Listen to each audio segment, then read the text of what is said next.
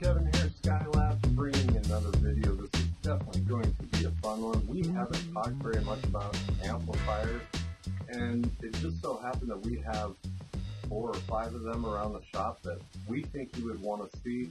There's a couple of them that it might be a while for us to get another one in and so we thought we'd make this video now. It wasn't necessarily even a planned video. It just just happened to be looking around the shop and went, oh wow, okay, um, we need to make a video about these while we've still got them. Also, after we go over these amplifiers, if you are interested in adding an amplifier to your current system, maybe you've got a small wattage receiver or integrated amplifier, we're going to go over how that's done because we do seem to be getting customers in at least once a week that are trying to do this and they don't understand how.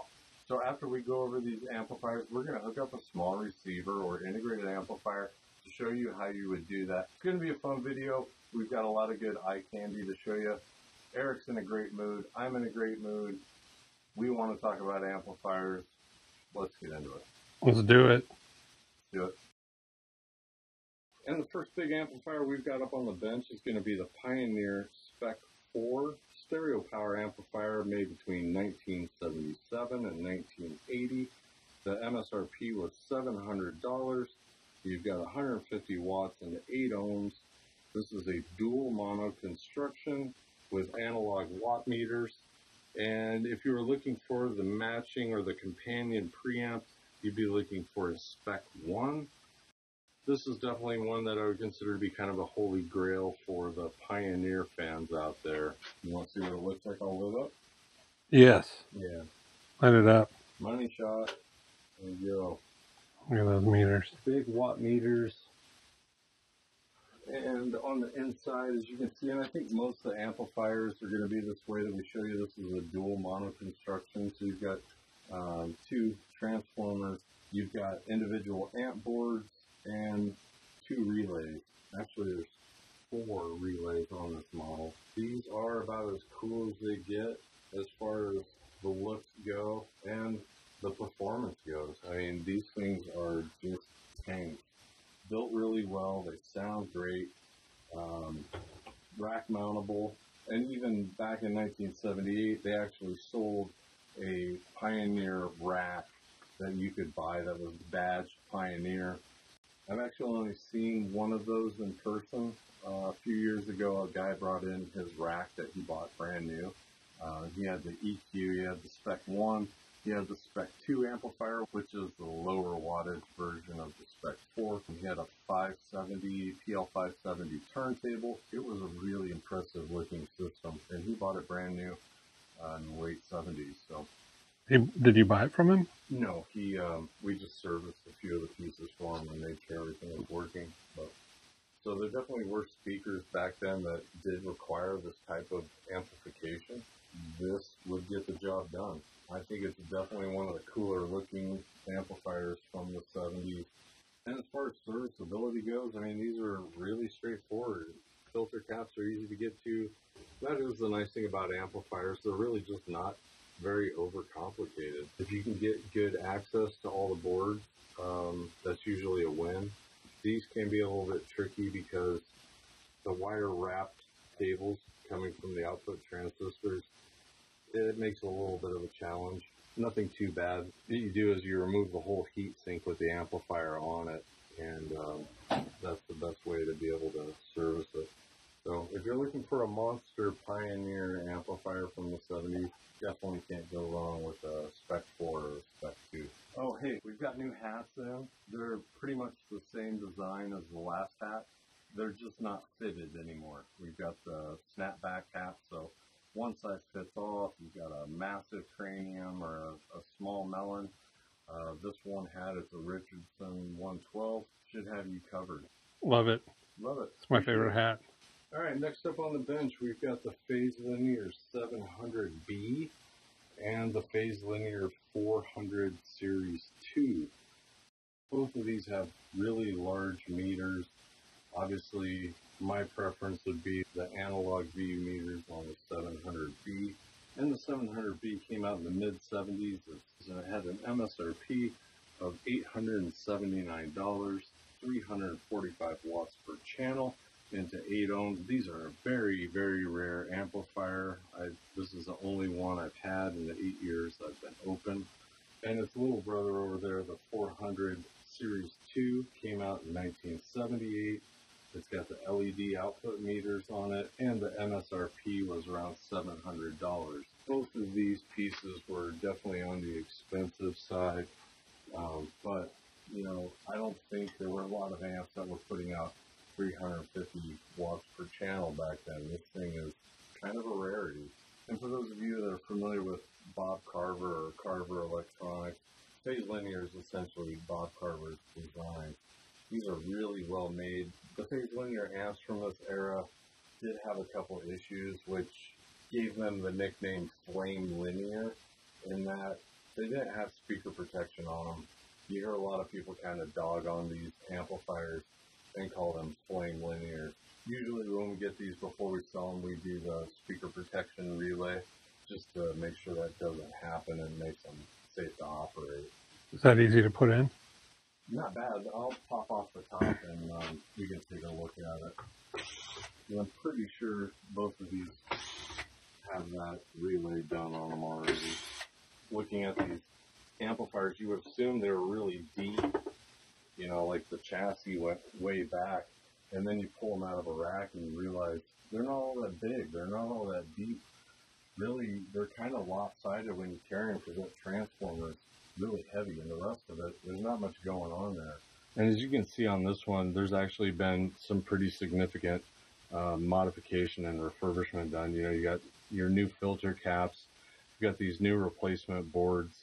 These things get hot, and it's really easy for a board to overheat and get hairline cracks in it or start to curve. I don't remember who makes these, but um, we've we've bought several of them. You can see on this one as well. There's the new speaker protection relay there. Right here. Yeah, right there. That that wasn't a part of the original design, and you can see kind of the original board compared to you know the new board. Who makes the new board? White Oak, and I think that's who makes the, um, the speaker protection relay. That one right there, that is uh, that's a forever piece for somebody. These do look cool when they are moving. Um, when you have a, when you have audio going through them, they kind of dance up and hit. Look kind of like Knight Rider. Yeah, kind of like that right. So definitely, if you're looking for a monster amplifier, um, I would be looking for a Phase Linear 700B. I think for the money, that's a great amplifier. I mean, the 400 is great too. Most people don't need over 200 watts per channel either. I mean, do they have a warm sound or a clinical sound, or is there any sound signature that goes with these, or is the difference between the ones that we're showing today? You know, amplifiers, they don't have a lot of sound signatures. You know, and some people out there might say I'm crazy, but you're going to get most of the difference in your preamp. You know, the, the preamp's going to color the sound more than anything. So it's really going to depend on what preamp you put in front of it. You know, if you put a tube preamp in front of it, it's going to sound like tube. You put a solid state preamp in front of it, it's going to sound like solid state. You know, I don't think you get as much of a, a variation with the sound of amplifiers as you do with the sound of preamplifiers. But again, that's just my opinion, and you'll hear a hundred other ways that people will say that I'm wrong, and that's just the way audio goes. And coming up next, we've got the Harman Kardon 16. And the Harman Kardon 16 came out in the mid 70s, and the MSRP was $599. They're 150 watts per channel into 8 ohms. Again, another dual mono construction. We've had quite a few of these. I love this amplifier. They're usually really reliable. I don't think we've ever had one come back that we've sold or we've serviced. And if you're looking for the preamp companion, you either be looking for the Model 11 or the Model 17. We've had a lot of these over the years. This one, a friend of ours, two times Tony, Two and three fourths. or two and three fourths Tony. I messaged him and said, hey, do you have one of your, he's got like three of these things. He was nice enough to bring this one in so we could use it for the video because I didn't think there was really much of a point of doing a 70 solid state amplifier video not having the Harman Kardon 16. So thank you you, Tony. Appreciate it. What's your favorite thing about this amp? Um, I just fell upon this one with a tuner and a matching uh, matching preamp at a estate sale, and for a ridiculous price, and I got it, and uh, I've not turned back since I I bought this one. Now I own three. I've had hard drive speakers, Dahlquists, uh, Martin Logan's, Maggie's, you name it. it. It makes every set of speakers I put on it, even some Panasonic thrusters, uh, sound good. You know, that's why we're a lot of us are into vintage. We like the looks of them. It's kind of like a little little business in the front, the touch of party with the lights. The, all the parties in the back. You know, mm-hmm. got a mullet, so it kind of goes along with that. And the meters on these are also LEDs. They've got several colors, uh, going from green to yellow to red. And let's see, do we have power on this guy? I'm not sure if this one even works. This might be maybe a dead unit or something. This is one we're planning on refurbishing. Are those lamps hard to replace they're, if one yeah, goes out? Kind of, they're kind of a pain in the butt. The problem is, is you usually just can't replace one because It'll be a lot brighter than the others. Yeah. So you have to almost relamp the whole thing.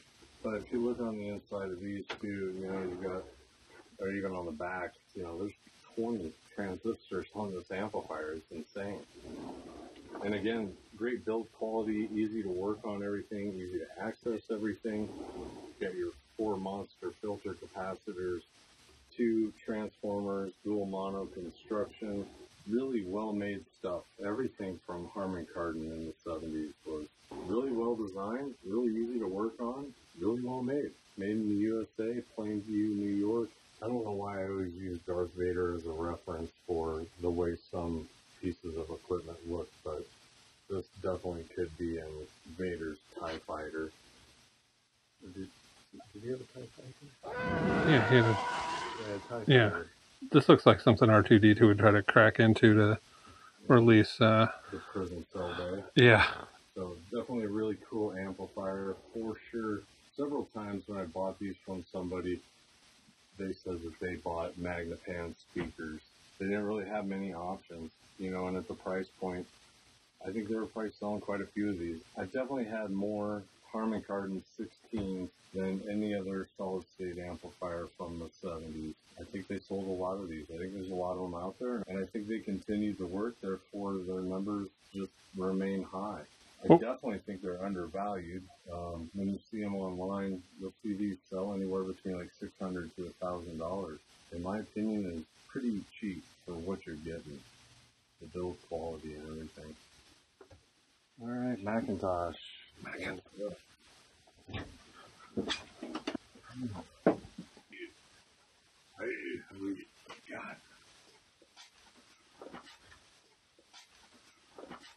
Is that the heaviest one? Not even by a little bit. We've got the McIntosh 2105, manufactured between 1967 and 1978. Definitely the longest run of all of the amplifiers we're talking about today. Uh, the 2105 is 105 watts per channel, and this is also McIntosh's first solid state amplifier if you were wanting to grab the companion preamp, you'd be looking for either a C26 or a C28. And this is actually my amplifier.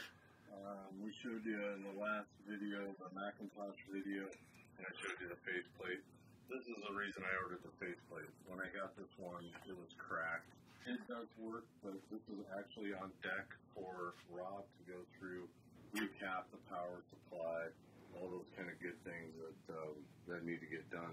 It looks like maybe some coffee was spilled or something in here. I don't think that's uh, mouse urine. I know where I got this, and I just don't see that happening in that, environment. But um, it looks more isolated to me. This is definitely an iconic amplifier. They're heavy. You get the big uh, meters up front. The only thing I don't like about these amplifiers are the speaker jacks. You've got the old spade style.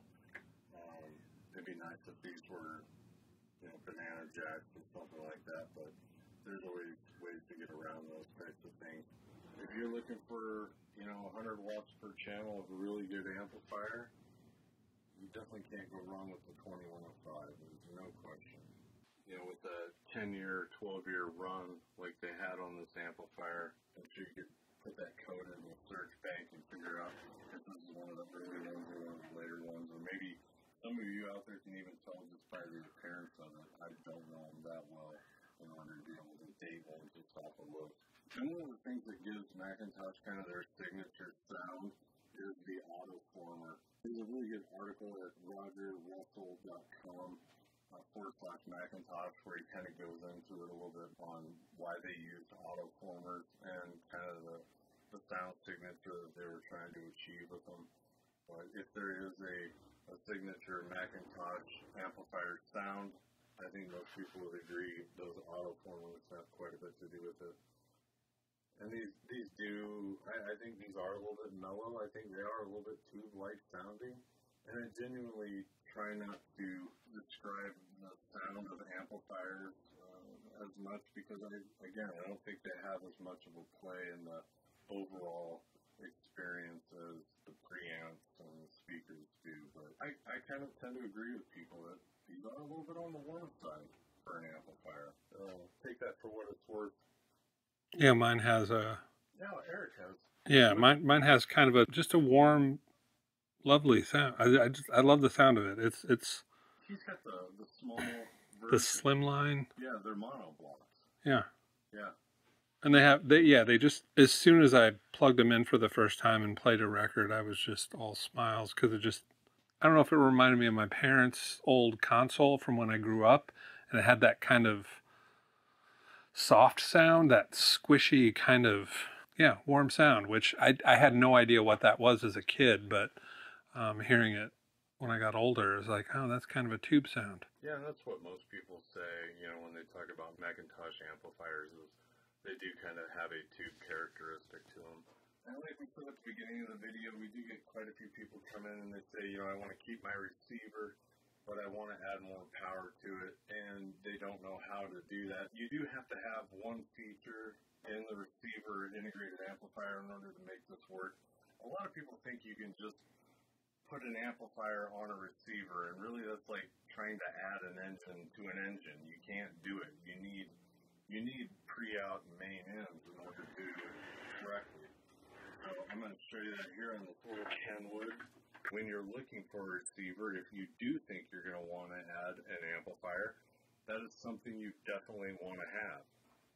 So you go out the preamp out, so it says pre-out, and you go into the amplifier. You go pre-out into the amplifier. And then you'll see a switch here that says normal or separate. Some amplifiers have that, some do not, but you want to make sure you put it to the separate position because that is going to separate your preamplifier from your internal amplifier. So in this case, you're using the Kenwood as a preamp only. You're bypassing the amplifier. You're sending the audio out of the preamp and you're going into the amplifier. And then you're hooking your speakers up here. There's no need to hook your speakers up here because you're not using the amplifier. The nice thing is, is you'll still have full control of all of your input switches, volume, potentiometers, balance knob will all still work. This is all part of the preamp section. Now another way to do this, if you're wanting to use the amplifier from the Kenwood and you're wanting to use the amplifier from the McIntosh, is you could use Y cables. And essentially what you do at this point is so you go out of the preamp with your Y cables. You bring one white cable down with the amplifier. Here. And then you go back into the main in, and that means it's going back into the main amplifier. So at this point, we're going out of the preamp, we're going down to the McIntosh, and then we're also coming back into the amplifier of the Kenwood and then you would just repeat this on the right channel. And then that way you could utilize the amplifier inside of the Kenwood as well as the McIntosh. You know, if you wanted to do a biamp situation on a set of speakers, or if you wanted to run more than two sets of 8 ohm speakers, that would be the way to do this. So for those of you out there looking to add an amplifier to a receiver, eh, you know what? I was just gonna say I wouldn't do this if you have a high powered receiver, but that's not right either because you know how you enjoy your stereo equipment's up to you. It, it, it's kind of a waste.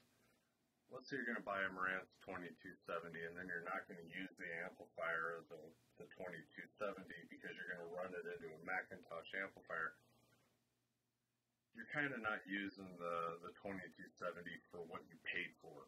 You know, the the biggest expense inside of the 2270, what you're paying for is a 70 watts per channel, and by doing this type of a configuration with it, I think a lot of people would say you're you know you're wasting that amplifier, but again, to each their own. Who gives a do what you like. There's nothing wrong with doing this.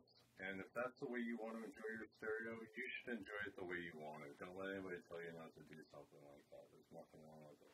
Can't thank you enough for all your support out there. Skylabsaudio.com forward slash shop. We've future taps. We're constantly adding new records to our inventory, so, so definitely head over there. And definitely don't forget to hit that subscribe button down below. You can always unclick it later.